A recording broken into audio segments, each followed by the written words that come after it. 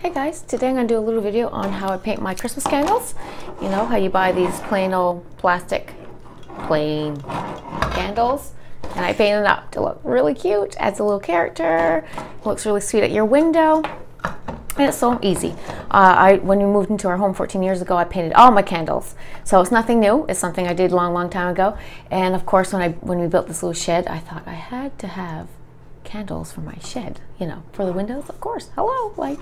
So I bought these two candles for that, and I thought I may as well do a little DIY video and show you how I paint them up, and give you a good little idea. Um, so you just buy your plain candle right here, and then all you need is sandpaper, and you need your craft paint. Craft paints here. Um, also, what I use though for the base of this one I use oil-based paint just because I want this specific color and I have tons of oil-based paints. So I just use that. But um, you don't have to use oil-based paint. This candlestick part is a water-based paint. Um, but once you do the water base, you're also going to need to cover it with a matte varnish to protect it, keep it stronger, tougher, keep it from scratching and whatever. So you take your candlestick and you take your, you know, finer grit paper, sandpaper, and you just kind of sand all around. Actually, we'll take the light bulb out. And if you decide to spray paint, some people will probably spray paint them.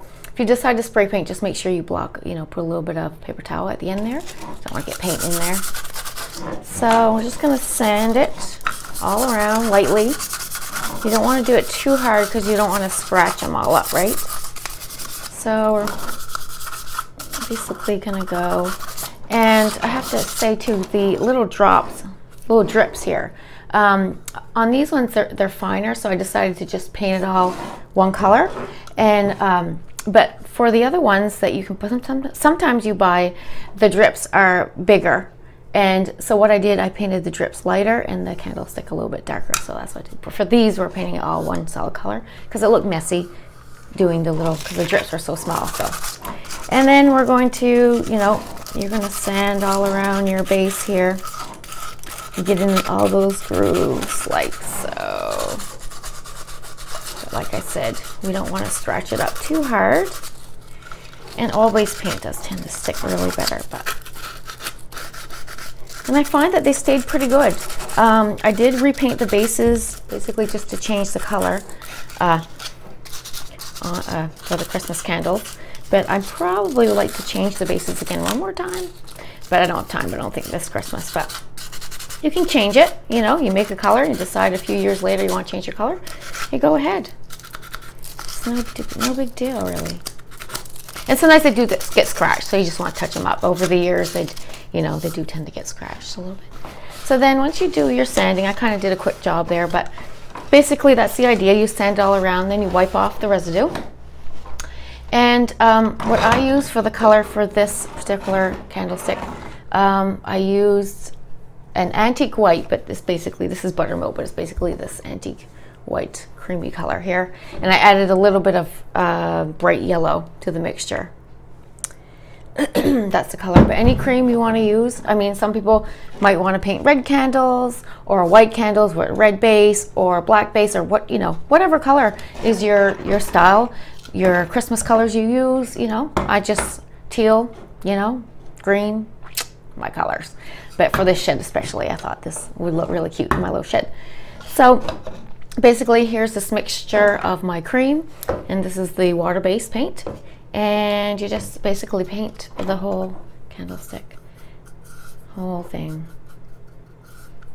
And I painted probably four coats of this on the candle.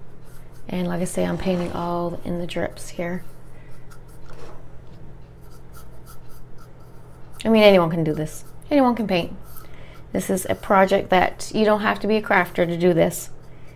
This is just painting and it just makes such a difference. Actually, it would make cute little get Christmas gifts if you want to paint up a couple for someone. And uh, I haven't done that yet, but I probably should make some gifts. So here we go. So we got this all basically painted here and just go on the tip here a little bit here. Now I'm going to paint in there. So I basically did I think I did four coats. So once that's all dry, then don't forget to put your matte, your matte varnish on top and that will make it more durable. And then what I did, I just have my oil-based paint and just painted the bottom probably like two coats. And if you use craft paint, just make sure you don't forget to put your matte varnish on it. You don't have to put matte varnish on uh, oil-based paint. So I use the gloss, it's a gloss oily paint. So that is just basically what you do you know, it's pretty simple and it makes all the difference. I find makes them pretty cute. So I hope you like this little idea and please like, share, and subscribe. Thank you.